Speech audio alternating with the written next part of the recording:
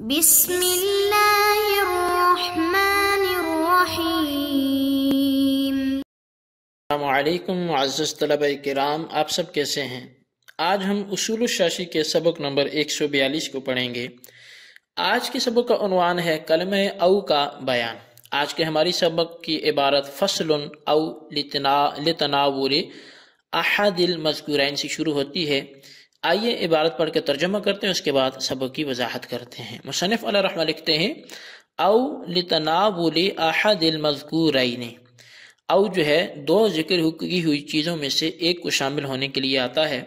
وَلِهَذَا لَوْ قَالَ هَذَا حُرٌ أَوْ هَذَا كَانَ بِمَنزِلَةِ قَوْلِهِ أَحَدُهُمَا حُرٌ۔ یہی وجہ ہے کہ اگر کسی شخص نے کہا، یہ آزاد ہے یا یہ تو یہ اس کے اس قول کے بمنزلہ ہوگا کہ ان میں سے ایک آزاد ہے حتی کان لہو بلایت البیان، یہاں تک کہ اس شخص کے لیے بیان کی بلایت ہوگی۔ وَلَوْ قَالَ وَقَلْتُ بِبَيِّ هَذَا لَعَبْدِ هَذَا أَوْ هَذَا كَانَ الْوَكِيلُ أَحَدُهُمَا اور اگر اس نے کہا میں نے اس غلام کی بے کے لیے اس کو یا اس کو وکیل کیا، تو ان میں سے ایک وکیل ہوگا۔ وَيُبَاحُ الْبَيْعُ لِكُلِّ وَاحِدٍ مِّنْهُمَا اور بے ان میں سے ہر ایک کے لیے جائز ہوگی۔ وَلَوْ بَاعَ أَحَدُهُمَا ثُمَّ عَادَ الْعَبْدُ إِلَى مِلْكِ الْمُوَكَّلِ لا موکل لا يكون للآخر ان يبيعه۔ اور اگر ان میں سے کسی ایک نے اس غلام کو بیچ دیا، پھر وہ غلام موکل کی مل کی طرف لوٹ آیا۔ تو اب دوسرے کو اس کو بیچنے کا حق حاصل نہیں ہوگا۔ وَلُو قَالَ لِسَلَاسِ نِسْوَةٍ لَهُ، هَذِهِ طَالِقٌ أَوْ هَذِهِ وَهَذِهِ، طُلِّقَتْ أَحَدُ الْأُولَيَيْنِ وَطُلِّقَتِ الثَّالِثَةُ فِي الْحَالِ۔ اور اگر اس نے کہا، جس کے پاس تین بیویاں تھی کہ یہ طلاق والی ہے یا یہ اور یہ، تو پہلی دو میں سے ایک کو طلاق ہو جائے گی اور تیسری کو فی الحال طلاق واقع ہو جائے گی۔ لیکن عطافها علی المطلقت منہما۔ اس لیے کہ اس نے اس کا عطف مطلقہ میں جو دو ہیں ان میں سے ایک بار کیا ہے۔ وَيَكُونُ الْخَيَارُ لِلزَّوْجِ فِي بَيَانِ الْمُطَلَّقَةِ مِنْهُمَا بِمَنْزِلَةِ مَا لَوْ قَالَ أَحَدُكُمَا طَالِقٌ وَهَذِهِ۔ اور خیار زوج کے لیے ہوگا متعلقہ کے بیان میں ان دونوں میں سے کون سی متعلقہ ہے؟ اور یہ اس کو قول اس کے بمنزلہ ہو گیا کہ اگر کوئی شخص کہے تم میں سے ایک طلاق والی ہے اور یہ طلاق والی ہے۔ وَعَلَى هَذَا قَالَ زُفَرُ اِذَا قَالَ لَا أُكَلِّمُ هَذَا أَوْ هَذَا وَهَذَا كَانَ بِمَنزِلَةِ قَوْلِهِ لَا أُكَلِّمُ أَحَدَ هَذَيْنِ وَهَذَا اور یہی وجہ ہے کہ امام ظفر نے فرمایا کہ جب کوئی شخص یہ قسم کہے کہ میں اس سے یا اس سے اور اس سے کلام نہیں کروں گا تو یہ اس کے اس قول کے بمنظرہ ہے کہ میں ان دو میں سے ایک سے اور اس سے کلام نہیں کروں گا۔ فلا يحنس ما لم يكلم احد الاوليين والثالثه پس وہ حانس نہیں ہوگا جب تک کہ وہ پہلے دو میں سے ایک سے اور تیسرے سے کلام نہ کر لے۔ وعندنا لو كلم الاول وحده يحنس۔ ہمارے ہاں اگر اس نے صرف پہلے سے بھی کلام کیا حانس ہو جائے گا۔ ولو كلم احد الاخرين لا يحنس۔ اور اگر اس نے آخری دو میں سے ایک سے کلام کر لیا، وہ حانس نہیں ہوگا۔ ما لم يكلمهما جب تک کہ وہ دونوں سے کلام نہ کر لے ولو قال به هذا العبد او هذا كان له ان يبيع احدهما ايهما شاء اور اگر اس نے کسی سے کہا کہ اس غلام کو بیچو یا اس کو تو اس کے لیے جائز ہے کہ ان میں سے جس کو چاہے بیچ دے۔ جی طلبہ کرام، یہ ہمارے آج کی سب کی عبارت اور اس کا ترجمہ تھا۔ اصل میں یہ او کے حوالے سے بحث شروع کر رہے ہیں۔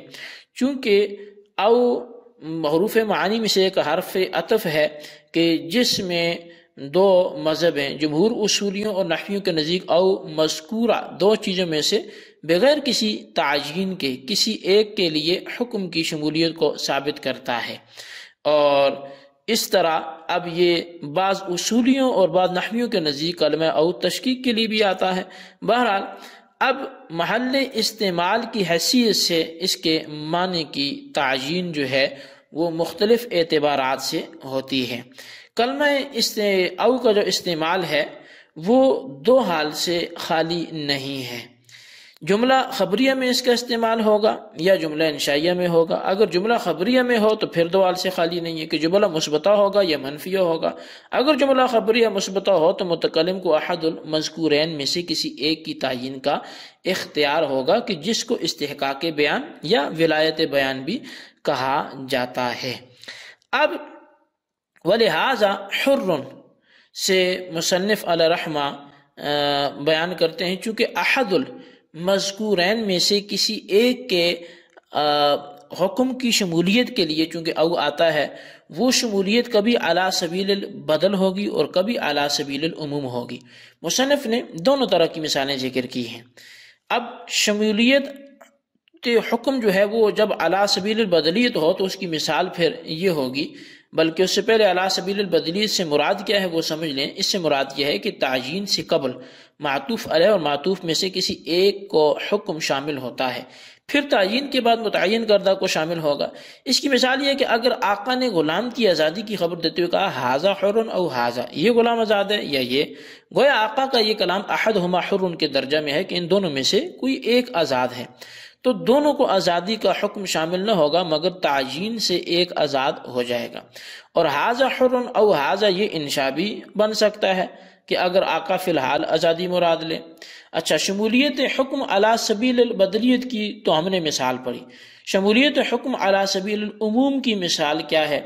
تو عموم کی مثال سے پہلے اس سے مراد کیا ہے وہ یہ ہے کہ تعین سے قبل معطوف علیہ اور معطوف میں سے ہر ایک کو حکم شامل ہوتا ہے، مگر تعین کے بعد وہ حکم صرف ایک کے لیے ثابت ہوگا۔ اس کی تعین کبھی متکلم کی طرف سے اور کبھی مخاطب کی طرف سے ہوگی۔ اس کی مثال یہ کہ اگر آقا نے اپنے غلام کو بیچنے کے لیے دو مردوں میں سے کسی ایک کو وکیل بناتے ہوئے کہا وکل تو ببئی حاضل عبد حاضہ او حاضہ کہ میں نے اس غلام کی بے کے لیے اس کو وکیل بنایا یا اس کو؟ چونکہ آقا بیچنے کا اختیار ایک اجنبی شخص کو دے رہا ہے جو پہلے اس کو حاصل نہ تھا۔ لہذا آقا کا یہ کول انشاء ہے۔ گزشتہ میں ہم نے یہ بھی پڑھا کہ جملہ انشائیہ میں او تخیر کے لیے بھی ہوتا ہے۔ لہذا تخیر بغیر کسی تعین کے علا سبیل العموم، دونوں میں سے ہر ایک کو بیچنے کا اختیار ہوگا۔ باقی وکالت کی تعین میں جو جہالت ہے، یہ ہلکی ہے جو وکالت میں جھگڑے تک نہیں لے کے جاتی۔ بخلاف بے اور اجارہ کے کہ ان میں جہالت کی گنجائش نہیں ہے، جہاں تخیر ہو، وہاں اباحت ضروری ہوگی۔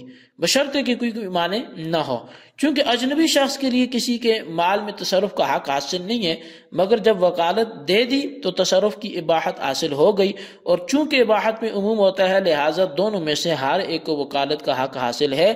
مگر کلمہ او کا تقاضا ہے کہ کسی ایک کے فروخت کرنے اور آزاد کرنے سے موکل کو کا مقصد پورا ہو جاتا ہے اور یہاں تعین مخاطب کے عمل سے ہو رہی ہے۔ لہٰذا اگر وہی غلام پھر کسی طرح موکل کے قبضے میں آ جائے تو دوبارہ سابقہ وکالت کی بنا پر کسی ایک وکیل کو فروخت کرنے کا اختیار حاصل نہ ہوگا۔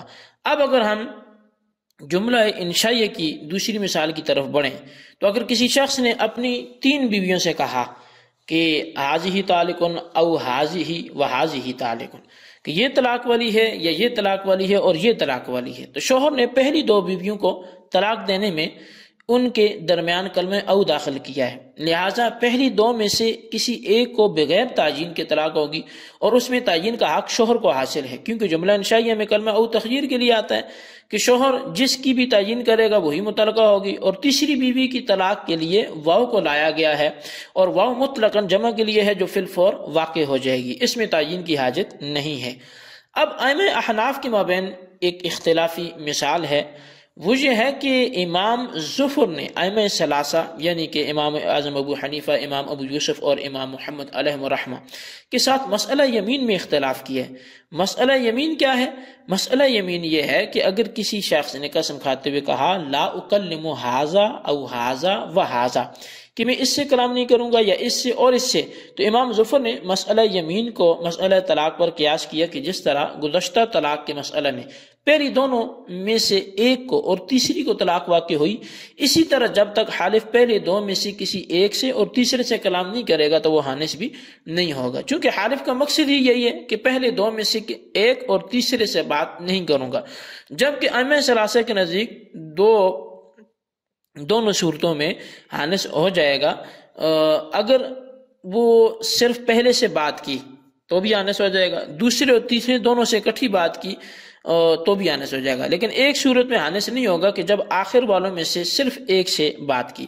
خلاصہ یہ ہے کہ امام ظفر کے نزدیک تینوں صورتوں میں سے فقط ایک صورت میں آنے سے ہوگا اور دو میں نہیں، جبکہ ائمہ ثلاثہ کے نزدیک دو صورتوں میں آنے سے ہوگا اور ایک میں آنے سے نہیں ہوگا۔ اب اس میں فرق کیا ہے؟ فرق یہ ہے کہ امام ظفر کا قسم والی مثال کو طلاق والی مثال پر قیاس کرنا یہ درست نہیں ہے، کیونکہ طلاق والی مثال مثبت کی ہے، جبکہ قسم والی مثال منفی کی ہے۔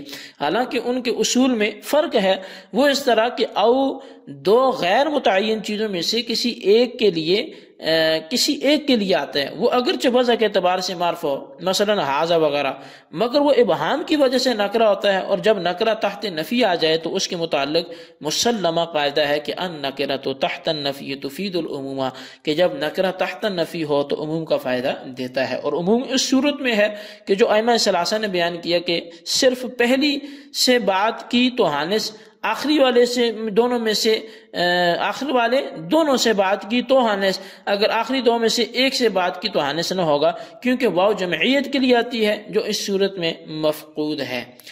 اب آخری بات اس سبق کے حوالے سے وہ یہ ہے کہ اگر آقا نے کسی شخص کو اپنے دو غلاموں میں سے کسی ایک کو فروخت کرنے کا وکیل بنایا، تو وکیل کو اختیار ہوگا کہ وہ دو غلاموں میں سے جس کو چاہے فروخت کرے، کیونکہ یہ جملہ انشائیہ ہے کہ جس میں او تخجیر کے لیے آتا ہے۔